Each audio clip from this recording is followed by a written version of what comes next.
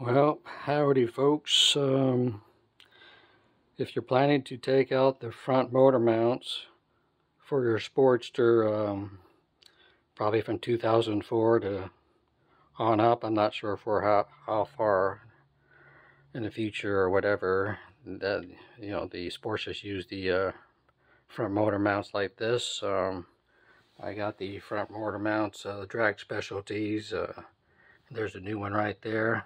I have it set up where you can take out that center insert. That that will definitely help. Um, I had a hell of a time taking out the um, the old motor mount on the right side. I got the new one in there. Um, but uh, at first I tried to take it out the old motor mount just with the kickstand down. I don't recommend that. I recommend getting it on a center stand. Uh, and if you have another jack, you can to, to lift up the motor, and that would also help. Um, there's a couple of other YouTube videos that show you how to do it. It probably works if you just use the uh, the uh, just a stand to raise the motor and have it on the kickstand. But I had a hell of a time because I couldn't get the motor to move far enough to allow me to take the uh, old motor mount out.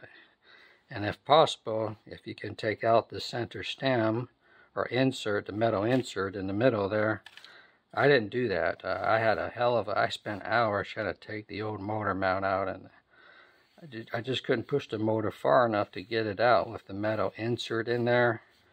So uh, there's other YouTube video recommending to take out that metal insert and how you would do that because I tried to do it before just with a screwdriver and a and a heavy hammer it wouldn't come out. You really have to pound that center insert if you can't get access to it. The only way I, I, I recommend is if you have like a, uh, a copper pipe that fits the center, that'll fit the, inner, the center insert and you could just put it there and then hit it with a heavy hammer and try to get it out. But that, that center insert was pretty stuck for me. I couldn't get it out. No way. So what I end up doing is I end up getting a reciprocating saw and just cutting it out. Cutting out that, that metal insert there. Uh, right here. And just cutting out the remaining part of the, uh, well, the, the old motor mount.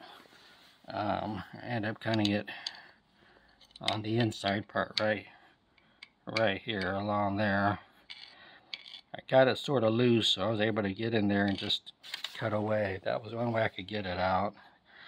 But if, if you could get if you could get that metal insert out in the center there it'll probably make it a whole lot easier. So um, as far as taking out that metal insert for the new one I went ahead and have this heavy heavy duty hammer and just pounded away on that metal insert but uh, once it gets flat I use the uh, copper pipe here and got it out. It's only held on there about a quarter about a quarter inch in this uh, mount so once you get once you get out it comes out really easily and that's this is the new one and I got the new the new motor mount installed. And you know the funny thing it still didn't seem like there's enough space to um, to get and to get the motor mount out and I, I got the old one out by pushing it down this way after I cut it. And this is the same way in which, in which I inserted it. I went in this way but it still didn't seem like I had enough space to get it in there. Um, there was it was just about a quarter inch short and I couldn't figure out how to move the motor further over. But then I had this idea, why don't I just grease it up on both sides of the new motor mount and grease it up on both sides of, of the engine here. And so what I end up using is I got this CRC, there's a multi-purpose, they don't sell this version anymore, but there's a CRC multi-purpose grease, or you could use any kind of grease probably. And I just greased it up and put it in, and it just slid right in so easily you can probably put grease on there to slide it out too so um so uh, hopefully this helps um, I didn't see any other videos out there so hopefully this helps you in getting your right side motor mount for your Sportster Because, man, I gotta tell you, I spent hours trying to get it out with the metal insert. I couldn't figure out any any way to get it done. I left most of everything on. I left the, the pipes on. Um, and everything else, as you can see, I didn't take every. There's no need to take everything off. But I did kind of scratch it here. Messed up because I was trying so hard. You know, I'm just a do-it-yourselfer, not, not a professional. So uh, I wish I had got that metal insert out first, but it, you know it wouldn't come out when I first tried to do it. Just with a heavy screwdriver and that heavy hammer, just would not budge. Um, so if you could get that center metal insert out, that would be the best thing to do. Um, now, as far as getting off, taking off, you know, you just um, getting off this, this center metal bolt on both sides, you, know, you just take, get this out of the way. Then you get access to the bolt on both sides. You just take that, this little cover thing off. And um, you just take both of these bolts. You, you have to get a, I think a size 1 uh, socket for both sides. I didn't have a size 1, but I had a, a I had a a millimeter that kind of fit this on the other side so I was able to get both get that off. And then you take this off and, and the old the old mount on the other side of the bike the left side's pretty easy. It just comes right out. This is the this is the, the one that's really a pain in the ass to get out so uh, so once you get that out well once you get this out you grease up the new one slide it slide it up here then you're set. This is the old, this is a new insert. I'm just going to grease this up and get it in on the inside and pound it as far as I can. Get it like it like it's set on the new one there.